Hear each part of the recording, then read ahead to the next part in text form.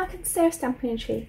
Today I thought that we would use this Inky Bouquet stamp from Altenew and we're going to create a shiny card with a black base using this. And this is actually the card I'm creating for the Altenew Let It Shine class that I'm doing for my ACEP course. So I'll link the class below, but I just thought I'd have lots of fun with shiny things today. So to start with, I've got a 5 inch by 5 inch square black card blank. I've got a piece of gold foil sheet that is four and a half inches square. A piece of black cardstock that is four and a quarter inches square.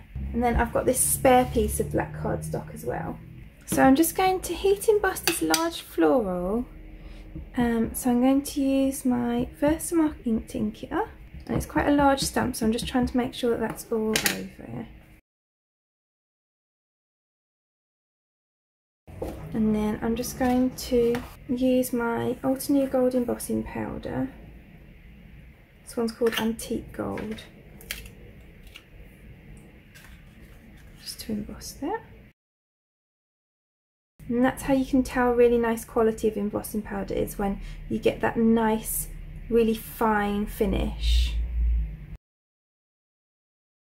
So you can get some embossing powders where the grains are quite coarse and then you don't get as nice a finish for these kind of fine type of images. And I'm just going to heat that up with my heat tool off camera because I'm using all the plugs in here today. So then I'm just going to heat up this embossing powder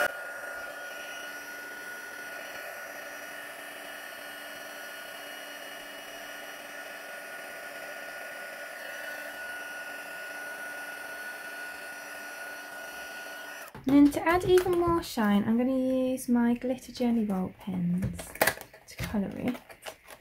So I'm going to use this pink one first, this flower down here. And I've chosen the glitter ones because I don't want any kind of full on colour, I just want a hint of colour. If I'd have used like the metallics, then they would have shown up better. But I want this more glittery look rather than a kind of like full on colour look. And then I'm going to use this pale blue on these flowers here.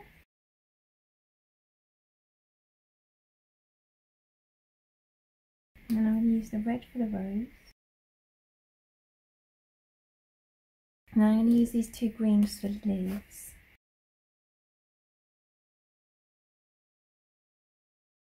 So I hope you can see that on the screen.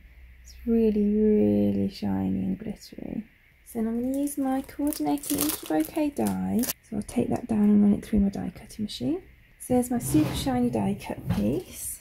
So then for the sentiment, I'm going to use my hot foil machine and you could totally just heat emboss a uh, happy birthday or whatever sentiment you want to use. It's just I've been desperate to use my hot foil machine again. So I'm just going to use this happy birthday from the stylish script thank you and happy birthday.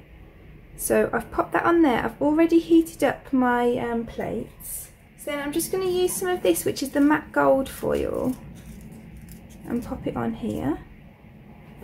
And then I'm just going to take this out and then I'm going to pop on some black cardstock and then I'm going to put on my cardstock shim and my plate.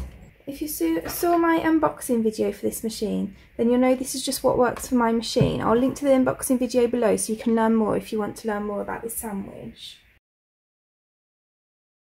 And then I'm going to cut around my filled sentiment as well.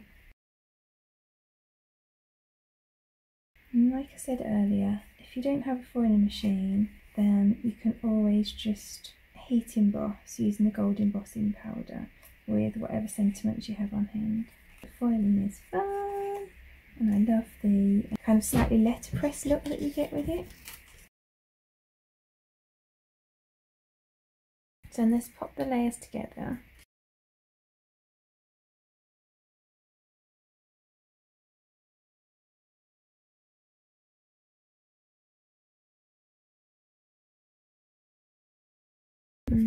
use some fine tape for this layer.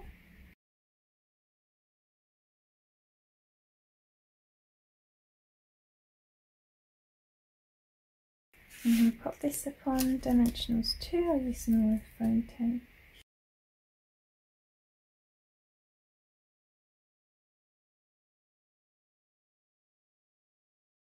And then I'm going to pop this up on foam tape in this bottom corner here. And then I've got some of these gold gems. Got the two sizes. And then I'm going to dot a bit of glue around.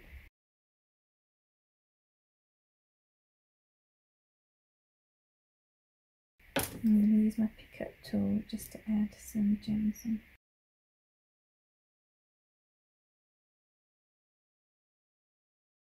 Then here's my finished card. I hope that you can see all that shine on the screen. We've got the foil, the field cardstock, we've got the um, gems, we've got the glitter um, colouring as well.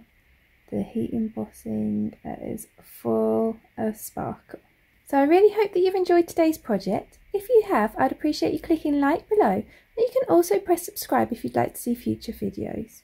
If you press the bell button and select all, then YouTube will also notify you when I've got a new YouTube video available. All of the products that I've used today are linked in the description below, and there's also a picture product list over on my blog, which might make it easier to find what you're looking for. Thank you so much for joining me today. I hope to see you again soon.